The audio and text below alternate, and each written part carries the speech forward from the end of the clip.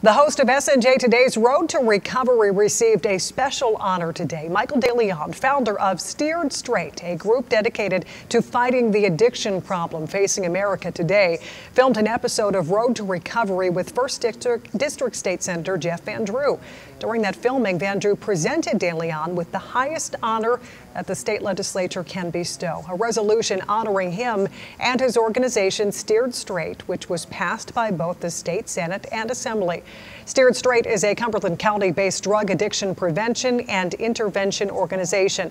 That episode of Road to Recovery will air next Tuesday following our newscast on WACP and will be available to view on snjtoday.com.